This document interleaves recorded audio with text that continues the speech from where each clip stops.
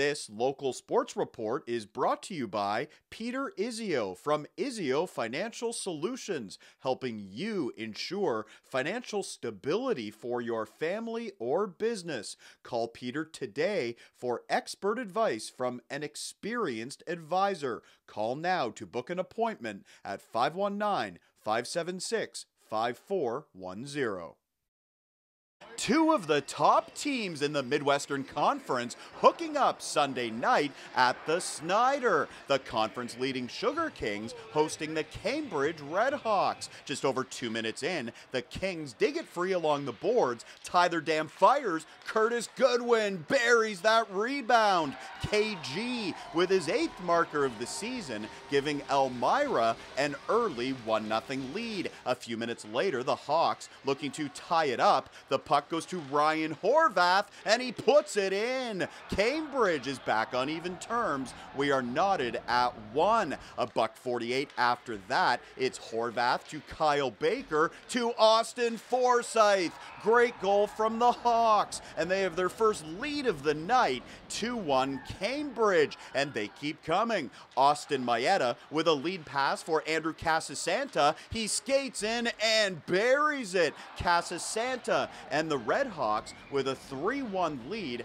after 20 minutes. Back to the highlights in a moment. First, a reminder this video is brought to you by Izzio Financial Solutions. Call Peter to book an appointment today at 519 576 5410. Second period, now the rebound pops out to Casasanta. Two chances, and he scores on his second try. Casasanta giving Cambridge a three goal advantage. It's 4 1. 27 seconds later, shorthanded rush for Kyle Baker, and he finds the back of the net everything going right for the Redhawks. They are up 5 1. The Kings now trying to get something going. Jeremy Goodwin with a steal. Hunter Dubecki with a goal. That's number 15 for Dubecki. Elmira is down 5 2 as we move to the third. Jeremy Goodwin over to Brody Waters. Nice little move in front. And just like that,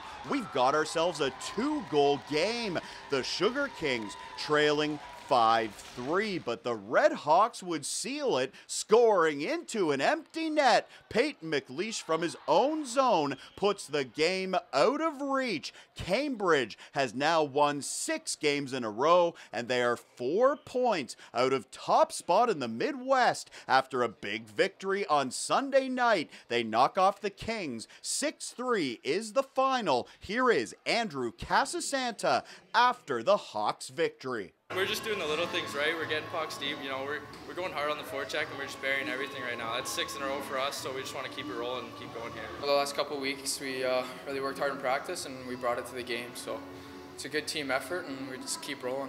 For more highlights, visit our website, 519sportsonline.ca. Be sure to subscribe to our YouTube channel and follow us on Facebook, Instagram, and Twitter.